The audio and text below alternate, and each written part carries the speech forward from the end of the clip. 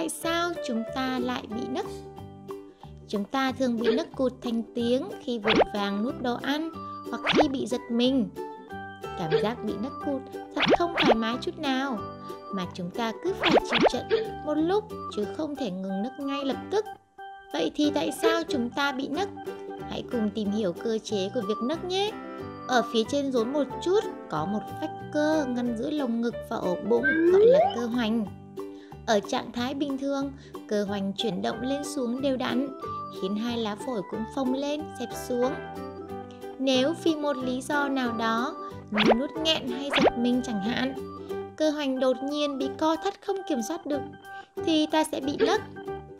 Khi đó, luồng khí ta đột ngột hít vào, đi qua cổ họng sẽ tạo ra tiếng hức. Nấc sẽ tự chấm dứt sau một lúc. Nhưng nếu bạn muốn nhanh chóng hết nấc, có thể sử dụng cách sau.